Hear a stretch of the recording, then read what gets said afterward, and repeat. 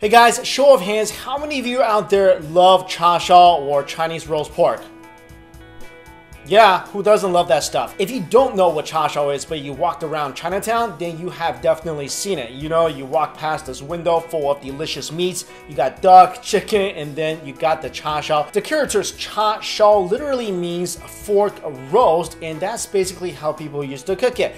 And it has so many applications. You can put it inside buns and you get a cha shao bao. You can cook it in fried rice, you get cha shao chao fan. And this is a very distinctive food item. It's red, it's always hanging on the window. When you bite into it, okay, that's where the magic happens. It's a little charred. If it's cooked right, it should never be dry and the juice should flow when you bite into that piece of meat. So looking at the cha shao, you might think that it's really complicated to cook, but I'm here to tell you that is not so. So I'm gonna show you how to make cha shao and you're gonna be amazed at how easy it is. Let's get started. First of all, let's go over some of the ingredients you'll need. Need some honey, Chinese oyster sauce, Chinese cooking wine. If you don't have this, then you can use dry sherry as a substitute. Salt, of course, dark soy sauce. This is a very crucial item that you'll need for cha shao. This is fermented tofu or fermented bean curds and very specifically, you'll need the red kind. So this is red fermented bean curds. You can't just get the regular bean curds, you need the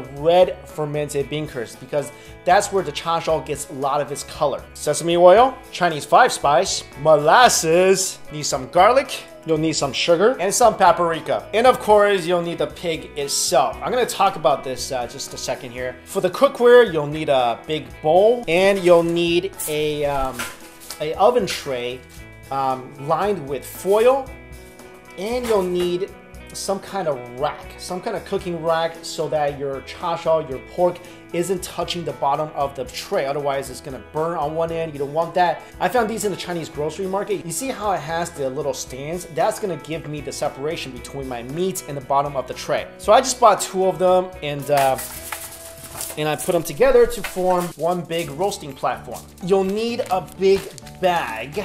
If you don't have a big bag, it's okay. I'm not actually sure I can use this because I don't, now I'm looking at this, I don't think my bag is big enough. Uh, it might be. We're gonna give it a try. So let me talk about the pork that you'll need um, for your cha shao, and this is very important. You cannot get a piece of pork that's just really lean, so no tenderloin. Um, what I would recommend is pork butt or uh, pork belly if you want your cha shao to be fattier. Um, I think I feel like the pork butt is a good um, meat in the middle. It's not too fatty. It's not too lean. So the pork butt has a nice piece of fat here, and that's going to be really important. We're going to use three pounds of pork for this recipe and that's gonna give you a lot of cha to do a lot of good things with. Oh, hey guys, it's Future Mike. I came back in time to tell you guys something very important, okay? It's not about, you know, the winning lottery ticket or who wins the Super Bowl. I forgot to tell you that when we cut up the meats, we wanna cut it up into about yay big, so maybe a couple inches wide and uh, maybe one inch thick. So slices like this, and it's okay to cut, you know, this piece is more uh, fatty and this piece is a little more lean. But because it's butt meat, it has, you know, fat layered throughout. So I'm gonna have some pieces that are a little fattier, and I'm gonna have some pieces that are a little more lean. For the marinade and sauce, we're gonna add a teaspoon of salt, half a teaspoon of Chinese five spice, tablespoon of sugar. Check out the fermented tofu. A lot of you might not have seen this uh, up close before. See how red it is on the inside? So the majority of our cha red color is to come from this, and we're to place one full block of tofu in there. And you see that juice in there that's all nice and red? Yeah, we're gonna take a tablespoon of that as well. So a tablespoon of the fermented tofu brine, three to four cloves of garlic, depending on how much you like garlic. 1 tablespoon Chinese oyster sauce, 1 tablespoon Chinese cooking wine, 2 tablespoons of soy sauce, 1 tablespoon of honey, 1 teaspoon paprika, 1 teaspoon sesame oil, 2 teaspoons of molasses, finally 2 tablespoons of warm water. Mix that all together. Now this is really important. You're going to take 2 tablespoons of this mixture and put it aside. After we finish the mixture, we're gonna take our big bag. Yeah, if you don't have a big bag, it's okay. You can just use like a, uh, like a tray or something. Put the pork inside. Then we're gonna take our sauce and dump it inside the bag. Sauce is in the bag. Make sure to squeeze all the air out. Just shift it around a bit so the sauce gets everywhere. Now you're gonna throw this in the fridge and have it marinate for about 24 hours. And if you're not using a bag and you're using like a pan or something, that's great. Cover it up with plastic wrap. Key thing is, after about 12 hours, um, go in there and uh, flip flip the meat so the other side gets a nice marinade. And if this was some kind of uh, Food Network show or some Martha Stewart, Rachael Ray stuff, I'm gonna go into that fridge and be like, and I already marinated something from yesterday, so let's get this cooking. Yeah, I didn't do that, so I'm gonna see you guys tomorrow. And the good thing about this being an online video is this. All right, it's been 24 hours. Let's take our pork out of the fridge and pop it into the oven. There it is. There we go all nice and marinated. And all I'm gonna do is put this onto my uh, makeshift roasting rack. I'm gonna try to space it out um, as much as I can, so I'll try to keep the pieces of pork away from each other. This way it can heat evenly. I'm gonna slide this into the top shelf of the oven. I'm gonna cook it at 500 for about 25 minutes. Uh, 25 minutes later, I'm gonna baste, flip it over, put it back in, and then I'm gonna cook it at about 450 for another 25 minutes. Before this goes into the oven, I'm gonna add about half a cup of water onto my tray so the bottom of the tray doesn't burn, it doesn't smoke too much. After you take your pork out, don't throw this valuable juice away. You're gonna baste with this. Pork goes onto your tray and it goes into the oven. Timer at 25 minutes and we're gonna check on that in just a little bit. All right, first time out of the oven. Looking pretty good so far. So now what we're gonna do is baste this.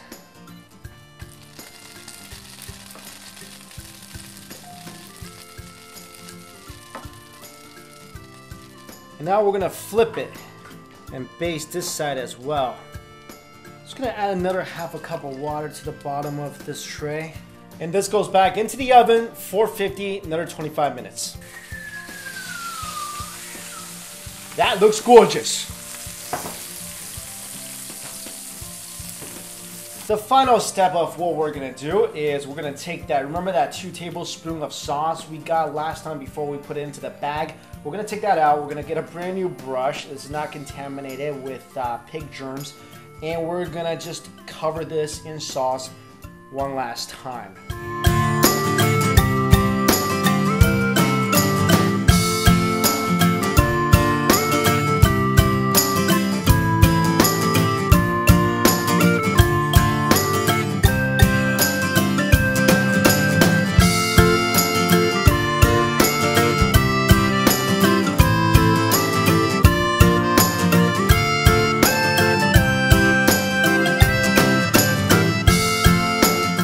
Gotta try some of this. There we go.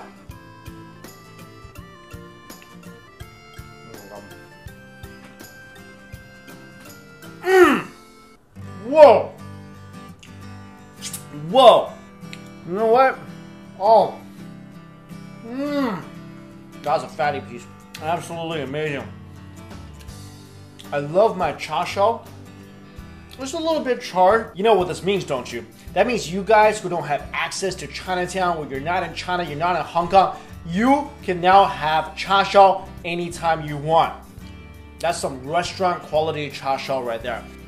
This is absolutely delicious. It's not as red as some restaurant cha shao. You guys know why?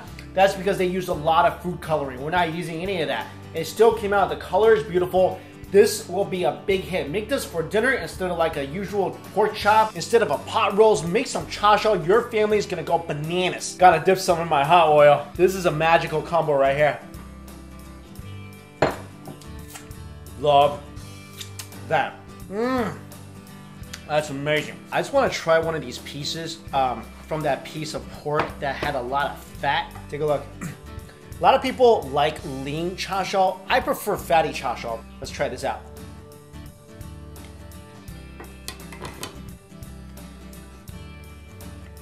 Oh my goodness! That was so good. I think I inadvertently just did the Tebow. That fat, as soon as it entered your mouth, just melted. It just melted. It was like biting into a piece of fatty porky heaven. If you're like me, you love fatty pork. As soon as this is done resting, cut off a piece from the fattiest end of the cha shao and put it into your mouth. You will thank me. You know what I also think would be good? Take this couple buns. So instead of pulled pork, put some cha shao there, put some coleslaw on top, a little barbecue sauce maybe. That would be fantastic. This is so good.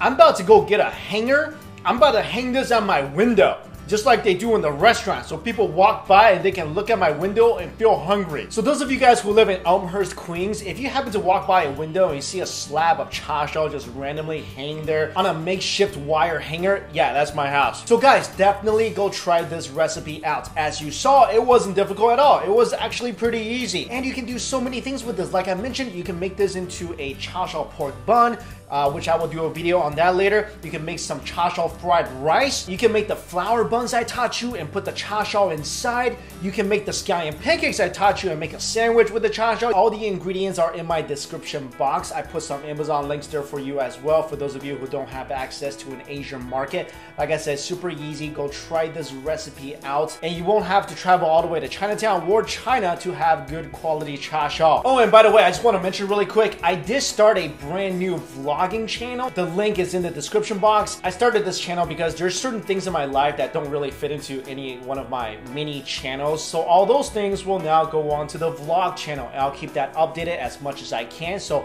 please check it out. If you like it, please subscribe. I would really appreciate that. Thank you so much for watching this video and uh, thank you so much for checking out my vlogging channel, guys. See you later.